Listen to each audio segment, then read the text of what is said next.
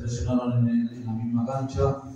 Eh, evaluaremos a ver qué, es lo mejor, si hacer la cancha de entrenamiento nueva.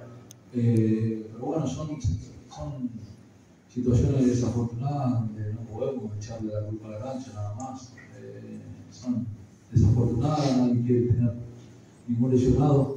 Está con Mati y estaremos a, a, disposición de él para, para ayudarlo en su recuperación. Carlos, acá Dani Garullo para Lord Sport. Bueno, felicitarte por este importante triunfo y bueno, enfrentaron a un rival del ascenso, vos que tenés el ADN del Apache, se esperaba un partido bien de potrero. ¿Qué le dijiste a tus jugadores sabiendo que va a haber mucho roce?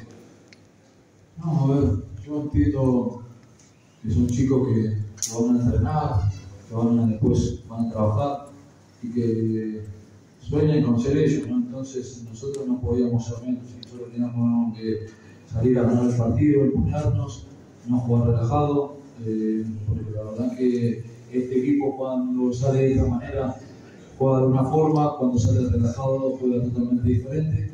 Entonces eh, tenemos que saber cuáles son nuestras armas y cuál es nuestra debilidad.